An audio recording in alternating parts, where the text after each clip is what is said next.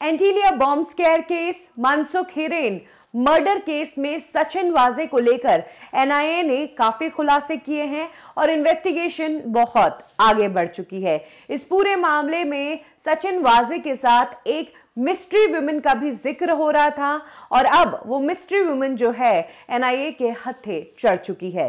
सबसे बड़ी बात, ये मिस्ट्री वुमेन भागने की कोशिश कर रही थी। इसको एयरपोर्ट से एनआईए की टीम ने डिटेन किया है। ये वही औरत है जो सचिन वाजे के साथ मुंबई के नरीमन पॉइंट के ट्राइडेंट होटल में नज़र आई थी। आपको बता दें कि मुंबई के नरीमन पॉइंट के ट्राइडेंट होटल का कमरा नंबर उन्नीस जो है, वो एक बिजनेसमैन ने 100 दिन के लिए 12 लाख रुपए देकर बुक कराया था। इस कमरे को फर्जी नाम से बुक करवाया गया था। सुशांत सदाशिव खामकर करके एक शख्स है, जिसके नाम पर यह कमरा बुक कराया गया था। 16 से 20 तारीख तक सचिन वाजे इसी कमरे में रहा था। यहाँ पर सचिन वाजे के साथ एक मिस्ट्री वुमेन स्पॉट हुई थी, जिसको सीसीटीवी कैमरा में एनआईए ने स्पॉट किया। इस दौरान सचिन वाजे के हाथ में कुछ सूट केसेस भी थे और इनके पास में एक मनी काउंटिंग मशीन भी थी।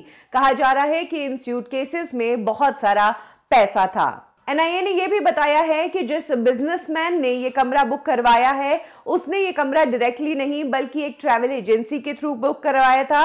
इसके अलावा सचिन वाजे इस कमरे में रहकर उसी बिजनेसमैन का कोई मामला था, जिसको सॉर्ट आउट कर रहा था। और जहाँ तक बात है इस मिस्ट्री वुमेन की तो कहा जाता है कि ये मिस्ट्री वुमेन सचिन वाजे के काले कारनामों का हिसाब रखती थी। उसकी ब्लैक मनी को व्हाइट में कन्वर्ट करने का काम करती थी।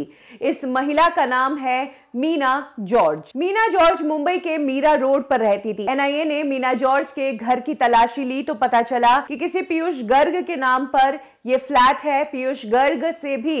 एनआईए ने पूछताछ की, इसके अलावा मीना जॉर्ज के घर से कई सारे डॉक्यूमेंट्स एनआईए की टीम ने हासिल कर लिए हैं। और अब मीना जॉर्ज से भी पूछताछ चल रही है। जहाँ तक बात है सचिन वाजे की तो सचिन वाजे की कस्टडी अभी बढ़ा दी गई है।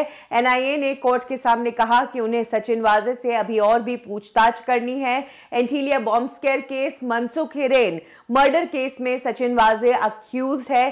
सचिन वाजे को चार मार्च को उसी जगह पर स्पॉट किया गया था, जहाँ से मनसुख हिरेन गायब हुए थे। लेकिन इधर सचिन वाजे के जो वकील है, वो हर कोशिश कर रहे हैं सचिन वाजे को एनआईए की गिरफ्त से छुड़वाने के लिए और उन्हें बेल दिलवाने के लिए। यही कारण है कि अब सचिन वाजे के वकील ने कहा है कि सचिन वाजे को हार्ट प्रॉब्लम है। उनके दिल में 90 परसेंट ब्लॉकेजेस है, जिस कारण उनका ट्रीटमेंट होना बहुत ज़रूरी है, जो कि एंजियोग्राफी के थ्रू ही हो सकता है।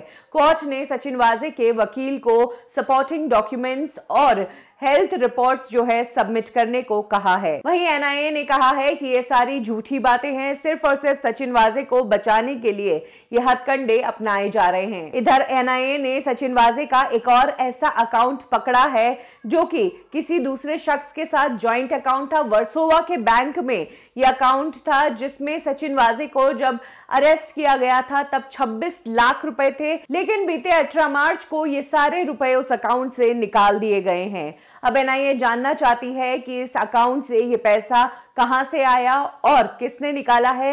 इसके अलावा इस अकाउंट के साथ जो लॉकर अटैच्ड है, उसमें कुछ डॉक्यूमेंट्स हैं जो गायब किए जा सकते हैं और जिससे बहुत ही इंपॉर्टेंट तथ्य मिल सकते हैं। इसीलिए एनआईए ने सचिन वाजे की कस्टडी को बढ़ाने की डिमांड की है, जो कि कोर्ट की तरफ़ से बढ़ा दी गई है। मीनवाइल आपको बता दें कि एनआईए ने बैंड्रा कुल्ला कॉम्प्लेक्स के मीठी रिवर से भी बहुत सारे एविडेंसेस जब्त किए हैं, जिसमें सीसीटीवी डीवीआर थे लैपटॉप्स थे हार्ड ड्राइव्स थी सीपीयू थे। एनआईए का कहना है कि सचिन वाजे ने इन सारे एविडेंसेस को मीठी रिवर पर डंप किए, लेकिन इस बात को भी सचिन वाजे के वकील ने नकारा है।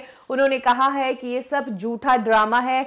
एनआईए ने खुद ये सारी चीज़ें मीठी रिवर में डाली है और फिर उन्हें निकलवा कर ये प्रूव करने की कोशिश की है कि ये सब सचिन वाजे ने किया है। इसके अलावा उनके वकील ने कहा है कि मीठी रिवर एक पब्लिक प्लेस है। यहाँ पर कोई भी आकर कुछ भी फेंक कर जा सकता है। इसका इल्ज़ाम सचिन वाजे पर लगाना गलत है।